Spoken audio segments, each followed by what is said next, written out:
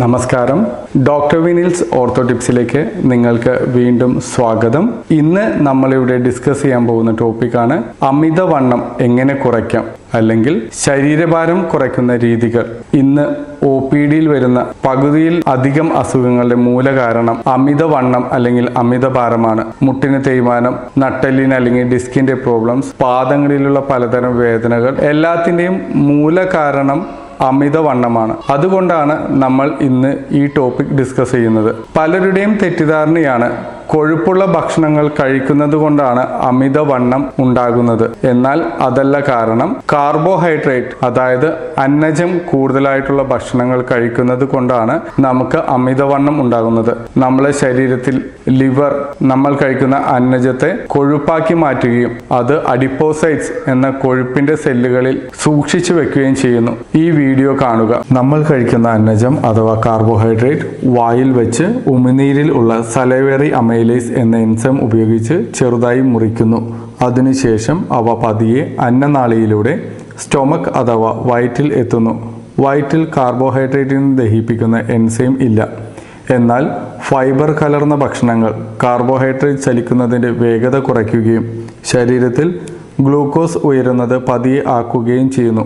ചെറുകുടലിൽ വെച്ച് പാങ്ക്രിയാസ് ഗ്രന്ഥിയിൽ നിന്ന് ഉദ്ഭവിക്കുന്ന പാങ്ക്രിയാറ്റിക് അമൈലേസ് എന്ന എൻസൈം വീണ്ടും കാർബോഹൈഡ്രേറ്റിനെ ചെറുകഷ്ണങ്ങൾ ആയി മുറിക്കുന്നു. അതിനുശേഷം കുടലിന്റെ തൊലിയായ എൻഡറോസൈറ്റ് അതിന്റെ ബ്രഷ് പോലെ ഇരിക്കുന്ന സ്ഥലത്തെ സൂക്രൈസ് മാൾട്ടീസ് ലാക്ടേസ് എൻസൈം ഉപയോഗിച്ച് സൂക്രോസ് മാൾട്ടോസ് ലാക്ടോസ് എന്ന ഡൈസാക്രൈഡിനെ ഗ്ലൂക്കോസ് ഫ്രക്ടോസ് ഗാലക്ടോസ് ആക്കുന്നു. ഗ്ലൂക്കോസ് ഫ്രക്ടോസ് ഗാലക്ടോസ് എന്നിവ മോണോസാക്രൈഡ് മോളിക്യൂൾസ് ആണ് എന്ന് വെച്ചാൽ അവ കാർബോഹൈഡ്രേറ്റിന്റെ അടിസ്ഥാന ഘടകമാണ്. അവ കൂട്ടിവെച്ച് ആണ് കാർബോഹൈഡ്രേറ്റ് മോളിക്യൂൾസ് ഉണ്ടാക്കുന്നത്.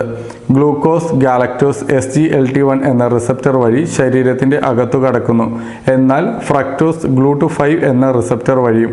അതിനുശേഷം ഇവ മൂന്നും ഗ്ലൂട്ട് ടു എന്ന റിസപ്റ്റർ വഴി രക്തത്തിൽ കയറുകയും അവിടെ നിന്ന് കരളിൽ എത്തിച്ചേരുകയും ചെയ്യുന്നു. അവിടെ വെച്ച് ഫ്രക്ടോസ് ഗാലക്ടോസ് എന്നിവ ഗ്ലൂക്കോസ് ആയി മാറ്റപ്പെടുന്നു. അങ്ങനെ ഉണ്ടാക്കുന്ന ഗ്ലൂക്കോസ് കരളിലും മസിലിലും ഗ്ലൈക്കോജൻ ആയി അടിഞ്ഞുകൂടുന്നു. ഫാറ്റ് സെല്ലിൽ പോയി കൊഴുപ്പായി മാറുന്നു. ഇങ്ങനെ കാർബോഹൈഡ്രേറ്റ് കരളിൽ വെച്ച് കൊഴുപ്പായി മാറുന്നത് കൊണ്ടാണ് കാർബോഹൈഡ്രേറ്റ് കുറഞ്ഞ ഭക്ഷണങ്ങൾ കഴിക്കണമെന്ന് പറയുന്നത്. കൊഴുപ്പ് കൂടിയ ഭക്ഷണത്തെക്കാൾ അപകടകാരിയാണ് കാർബോഹൈഡ്രേറ്റ് കൂടിയ ഭക്ഷണങ്ങൾ. കാരണം അവ കൂടുതൽ ഇൻസുലിൻ ശരീരത്തിൽ ഉണ്ടാക്കുന്നു. ഇൻസുലിൻ എന്ന ഹോർമോണിന്റെ ലക്ഷ്യം ശരീരത്തിൽ ഗ്ലൂക്കോസ് കുറയ്ക്കുക എന്നാണ്. അതിനായി അവ ഗ്ലൂക്കോസിനെ എല്ലാ കോശങ്ങളിലേക്കും കടത്തിവിടുന്നു. അങ്ങനെ കൊഴുപ്പ് കോശങ്ങളിലേക്ക് കടന്നു ചെല്ലുന്ന ഗ്ലൂക്കോസ് കൊഴുപ്പായി മാറുന്നു. അതുകൊണ്ട് തന്നെ കൂടുതൽ കാർബോഹൈഡ്രേറ്റ് കഴിക്കുമ്പോൾ കൂടുതൽ ഇൻസുലിൻ ഉണ്ടാകുകയും ശരീരത്തിന് ആവശ്യമായിട്ടുള്ളതിൽ കൂടുതലുള്ള ഗ്ലൂക്കോസിനെ കൊഴുപ്പാക്കി മാറ്റുകയും ചെയ്യുന്നു. ഇനി ഫാസ്റ്റിംഗ് ചെയ്യുമ്പോൾ സംഭവിക്കുന്നത് എന്താണെന്ന് നോക്കാം. ഭക്ഷണം കഴിക്കാതിരിക്കുമ്പോൾ കാർബോഹൈഡ്രേറ്റിന്റെ അളവ് കുറയുന്നു. അതുവഴി ശരീരത്തിൽ ഇൻസുലിന്റെ അളവ് കുറയുന്നു.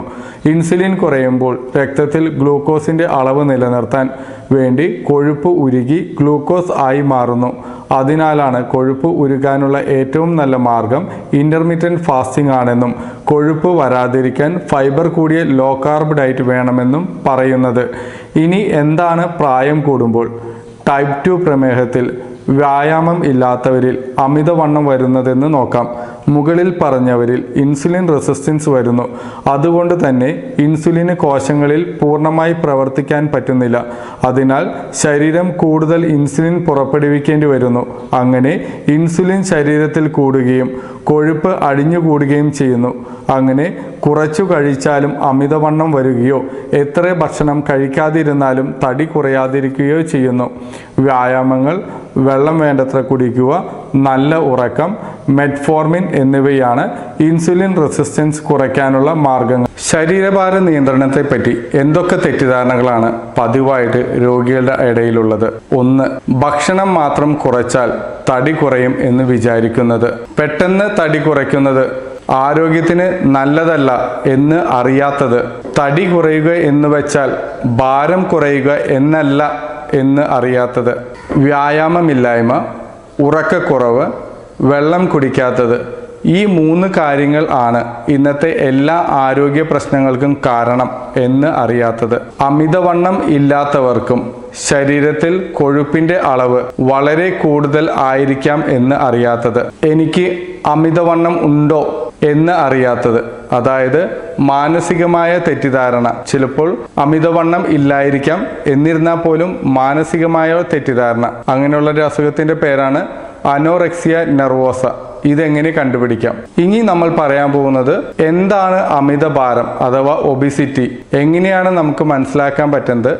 ഒരാൾക്ക് അമിതഭാരം ഉണ്ട് എന്ന്. ഈ ഫോട്ടോ കാണുക. B body mass index. എന്ന പാരാമീറ്റർ ആണ് നമ്മൾ ഒരാൾക്ക് അമിതഭാരം ഉണ്ടോ ഇല്ലയോ എന്നറിയാൻ ഉപയോഗിക്കുന്നത്. എങ്ങനെയാണ് ബി എം ഐ കണക്ക് കൂട്ടുന്നത് എന്ന് വഴിയെ പറയുന്നുണ്ട്. ബി എം ഐ പതിനെട്ട് പോയിന്റ് അഞ്ചിന് താഴെയാണെങ്കിൽ നമ്മൾ അണ്ടർ വെയ്റ്റ് അതായത് ഭാരക്കുറവ് എന്ന് പറയുന്നു. പതിനെട്ട് പോയിന്റ് അഞ്ചിനും ഇരുപത്തഞ്ചിനും ഇടയ്ക്ക് നിൽക്കുകയാണെങ്കിൽ അതിനെ നോർമൽ വെയിറ്റ് എന്ന് പറയുന്നു. ഇരുപത്തഞ്ചിനും മുപ്പതിനും ഇടയ്ക്ക് നിൽക്കുന്നതിനെ ഓവർ വെയിറ്റ് അല്ലെങ്കിൽ അമിത ഭാരം എന്ന് പറയുന്നു.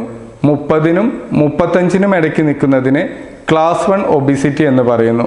മുപ്പത്തഞ്ചിനും നാൽപ്പതിനും ഇടയ്ക്ക് നിൽക്കുന്നതിന് ക്ലാസ് ടു ഒബിസിറ്റി എന്ന് പറയുന്നു. നാൽപ്പതോ നാൽപ്പതിൽ കൂടുതലുള്ളതിന് ക്ലാസ് ത്രീ ഒബിസിറ്റി അഥവാ മോർബിഡ് ഓർ എക്സ്ട്രീം ഒബിസിറ്റി എന്ന് പറയുന്നു. ഒരാളുടെ ബി എം ഐ എങ്ങനെ കണ്ടുപിടിക്കാം? അയാളുടെ തൂക്കം കിലോഗ്രാമിൽ. എഴുപത് കിലോഗ്രാം ഉള്ള ഒരു രോഗിയുടെ എഴുപത് ഡിവൈഡഡ് ബൈ എത്ര ഹൈറ്റ് ഉണ്ടോ അതിന്റെ സ്ക്വയർ എടുക്കുക. ഫോർ എക്സാമ്പിൾ ഇപ്പോൾ നൂറ്റി എഴുപത്തിരണ്ട് സെന്റിമീറ്റർ ഉണ്ടെങ്കിൽ അതിനെ one point seven two metre എന്നാക്കുക എന്നിട്ട് അതിന്റെ സ്ക്വയർ എടുക്കാം. അപ്പോൾ weight divided by height square അതാണ് നമുക്ക് ബി എം ഐ ഇത് പലർക്കും കണ്ടുപിടിക്കാൻ ബുദ്ധിമുട്ടാണ്.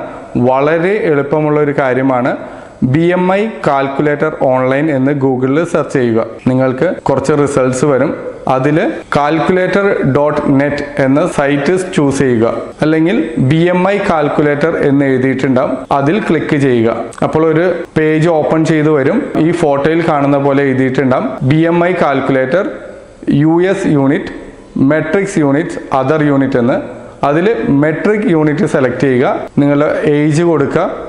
ഏതാണ് ജെൻഡർ മെയിലോ ഫീമെയിലോ ആണോ അത് കൊടുക്കുക. നിങ്ങളുടെ ഹൈറ്റ് കൊടുക്കുക. ഇപ്പൊ നൂറ്റി എഴുപത്തിനാല് സെന്റിമീറ്റർ ആണെങ്കിൽ നൂറ്റി എഴുപത്തിനാല് സെന്റിമീറ്റർ എന്ന് കൊടുക്കുക. നിങ്ങളുടെ വെയിറ്റ് എത്രയാണോ? എഴുപത് എഴുപത്തിരണ്ട് കിലോ ആണെങ്കിൽ അത് കൊടുക്കുക. എന്നിട്ട് കാൽക്കുലേറ്റ് എന്ന് പറഞ്ഞൊരു ഓപ്ഷൻ കൊടുത്തു കഴിഞ്ഞാൽ നമുക്ക് വലതുവശത്ത് അതിന്റെ റിസൾട്ട് വരും. റിസൾട്ടിൽ നോക്കിയാൽ അറിയാം. ആ പച്ച ഭാഗത്താണ് നമ്മളുടെ ആരോ നിൽക്കുന്നതെങ്കിൽ നിങ്ങളുടെ വെയിറ്റ് ഓക്കെ ആണ്. കൂടുതലും അല്ല വലത്തോട്ടേക്കാണ് പോകുന്നതെങ്കിൽ അത് കൂടുതൽ ഇടത്തോട്ടേക്കാണ് പോകുന്നതെങ്കിൽ അത് കുറവ്. ഇങ്ങനെയാണ് നമുക്ക് മനസ്സിലാക്കാൻ പറ്റുക ഒരാൾക്ക് അമിതഭാരം അല്ലെങ്കിൽ നിങ്ങൾക്ക് അമിതഭാരം ഉണ്ടോ ഇല്ലയോ. അപ്പൊ ആദ്യമായിട്ട് തുടങ്ങുന്നത് നിങ്ങൾക്ക് അമിതവണ്ണം ഉണ്ടെന്ന് തോന്നി നിങ്ങൾ അമിതഭാരം കുറയ്ക്കാൻ ശ്രമിക്കുമ്പോൾ ആദ്യം ചെയ്യേണ്ടത് നിങ്ങളുടെ ബി എം ഐ കാൽക്കുലേറ്റ് ചെയ്യുക എന്നുള്ളതാണ്. ഒരിക്കൽ ബി എം ഐ കാൽക്കുലേറ്റ് ചെയ്ത് കഴിഞ്ഞാൽ നമുക്ക് നമ്മളുടെ ശരീരഭാരം കൂടുതലാണോ കുറവാണോ എന്ന് അറിയാൻ പറ്റും. നിങ്ങളുടെ ബി എം ഐ കൂടുതലാണ് എന്ന് വിചാരിക്കുക. എന്നാൽ നിങ്ങൾ ശരീരഭാരം കുറയ്ക്കാനുള്ള കാര്യങ്ങൾ ചെയ്യണം. എന്നാൽ മുൻ- മുമ്പ് പറഞ്ഞ പോലെ പല തെറ്റിദ്ധാരണകളും ഉണ്ട്. അതുകൊണ്ട് തന്നെ ഞാൻ വഴിയെ പറയുന്ന എട്ട് മാർഗങ്ങൾ അവലംബിക്കണം.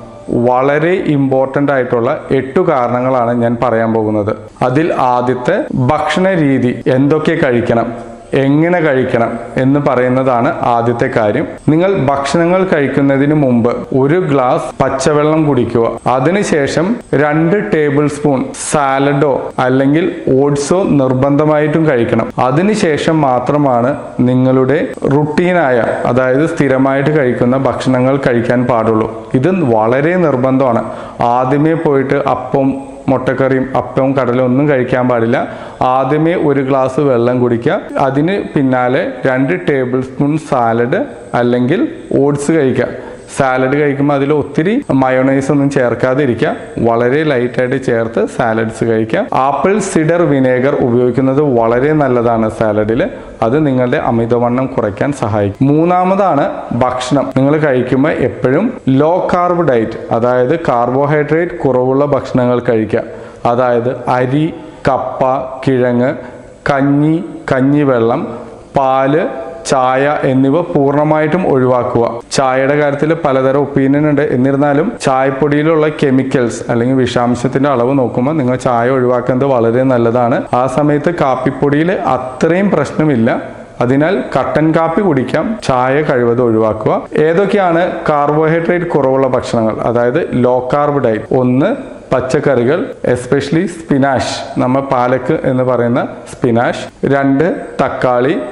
മൂന്ന് സെലറി നാല് വെള്ളരിക്ക അല്ലെങ്കിൽ കുക്കുമ്പ് അഞ്ച് ക്യാബേജ് ആറ് വഴുതനങ്ങ ഏഴ് സ്ട്രോബെറി എട്ട് ക്യാരറ്റ് ഒമ്പത് ഓറഞ്ച് പത്ത് വെണ്ടയ്ക്ക പതിനൊന്ന് ബ്രൊക്കോളി പന്ത്രണ്ട് പോപ്കോൺ പോപ്കോൺ വെറുതെ കഴിക്കുന്നത്. നമ്മൾ കടകളിൽ നിന്ന് കിട്ടുന്ന പലതരം കെമിക്കൽസോ അല്ലെങ്കിൽ എണ്ണ ചേർത്ത പോപ്കോൺസ് അല്ല. വെറുതെ പ്ലെയിൻ പോപ്കോൺ മൂന്ന് തൈര് അല്ലെങ്കിൽ യോഗട്ട് പതിനാല് കോഴിമുട്ട.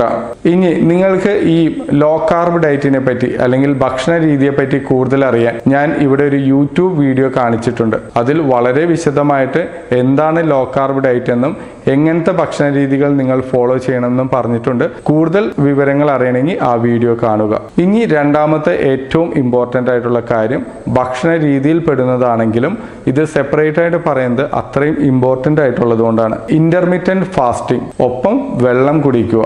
ഏറ്റവും ഇമ്പോർട്ടന്റ് ആയിട്ടുള്ള ശരീരഭാരം കുറയ്ക്കാനും ആരോഗ്യം വയ്ക്കാനുമുള്ള ടെക്നിക്കാണ് ഇന്റർമീഡിയന്റ് ഫാസ്റ്റിംഗ് പലതരം ഇന്റർമീഡിയന്റ് ഫാസ്റ്റിംഗ് രീതികളുണ്ട്. ഇരുപത് ബൈ നാല് പതിനാറ് ബൈ എട്ട് അതിന്റെയൊക്കെ ഡീറ്റെയിൽസ് വഴിയെ പറയുന്നുണ്ട്.